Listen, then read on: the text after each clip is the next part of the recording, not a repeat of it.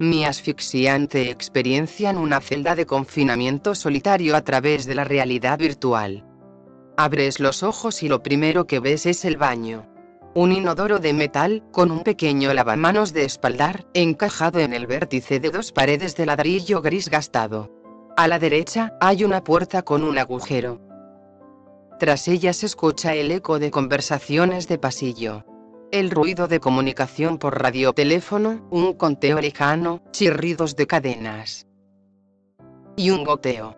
El sonido sutil y exasperante de una gotera que nunca se va.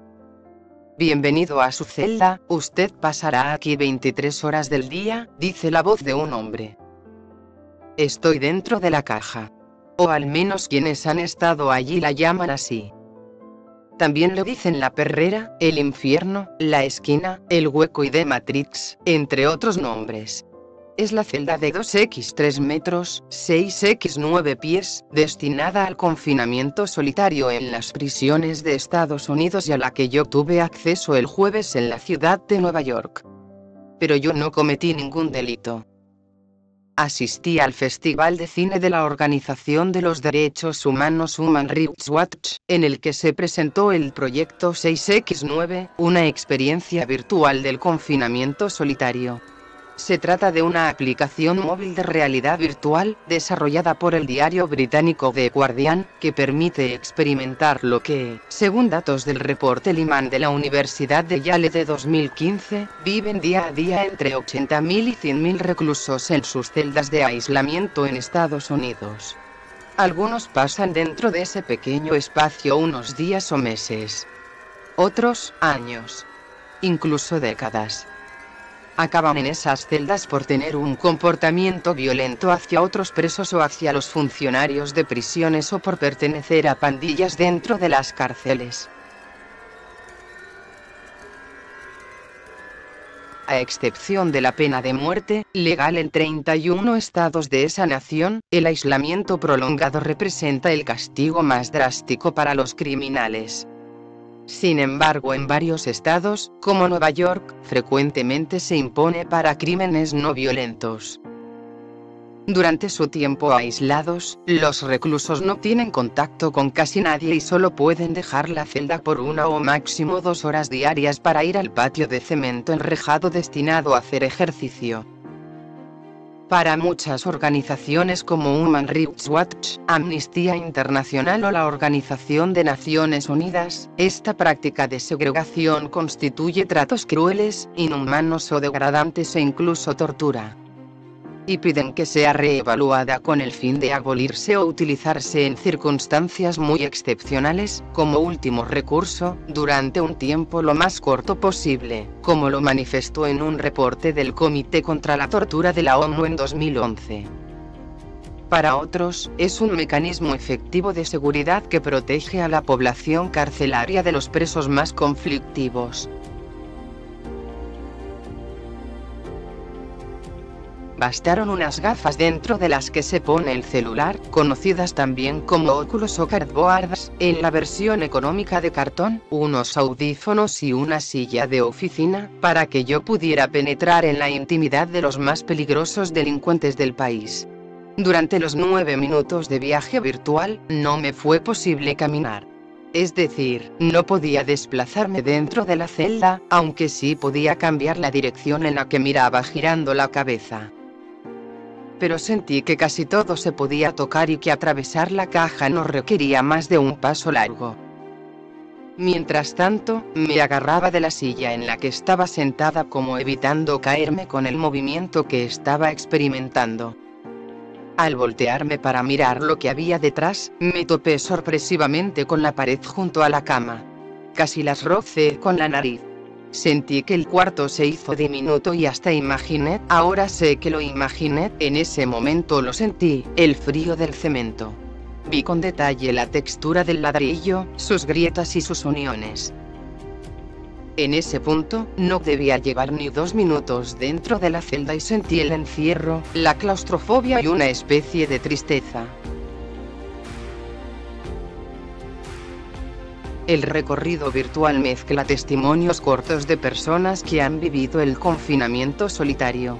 Al ritmo de su narración, la celda cambia, las paredes se agrietan, se llenan de mamarrachos y frases alucinatorias, aparecen sombras.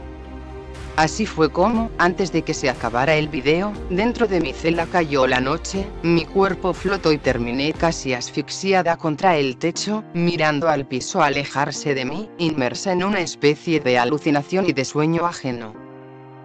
En la voz de ese sueño aparece la del cubano Johnny Pérez, con quien tuve la oportunidad de conversar después de salir de la celda, pues asistí al evento en compañía de otros hombres que habían vivido lo mismo. Los guardias no te hablan, le dice a BBC Mundo el hombre de 37 años, esa es una de las peores partes para mí que te ignoren o no te saluden cuando estás dentro de la sociedad no importa, pero esta gente te está alimentando a diario y son las únicas personas con las que tienes contacto por meses o años, agrega. Yo le decía mírame.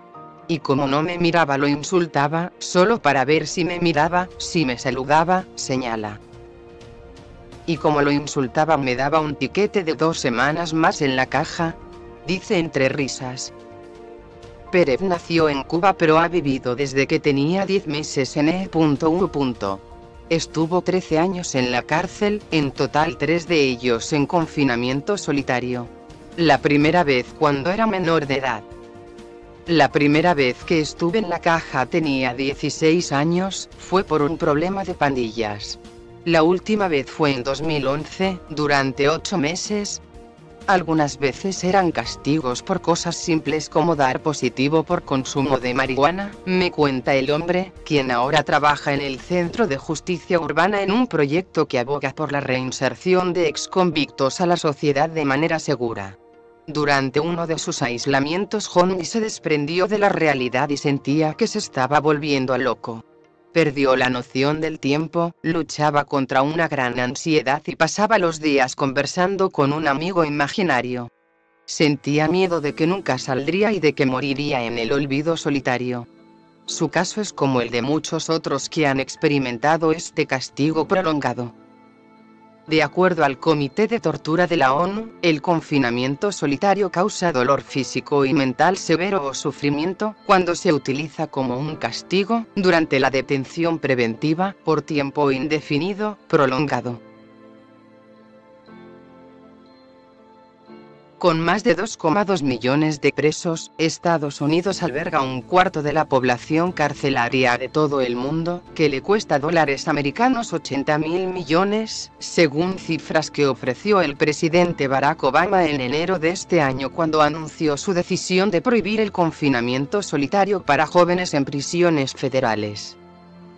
La decisión ejecutiva del mandatario estadounidense benefició a cerca de 10.000 menores detenidos en asilamiento pero no a los cerca de otros 10.000 jóvenes detenidos en correccionales estatales, sobre los que el presidente no puede decidir.